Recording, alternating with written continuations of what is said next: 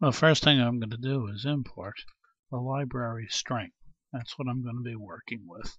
And I want to say x equals the cow swam the lake.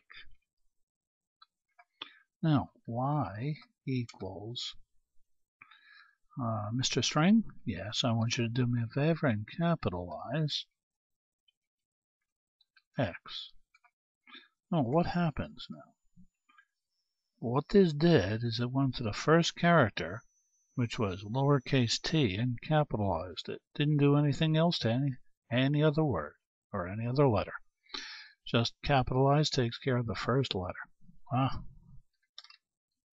Now, z equals Mr. String. I want you to do me another favor. I want you to cap words. I want you to capitalize all the words in oh, y. Now, right now, y has the cow swam the lake. So cow, swam, the, and lake are lowercase first letters. Let's see what happens when I hit enter.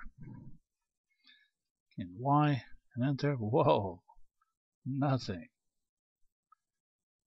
Because Y was not the target, Z was. Let's key in Z. And there we go. The cow swam the lake. I got a little worried there for a second. Thanks so much for listening. This is George Boole. Bye bye.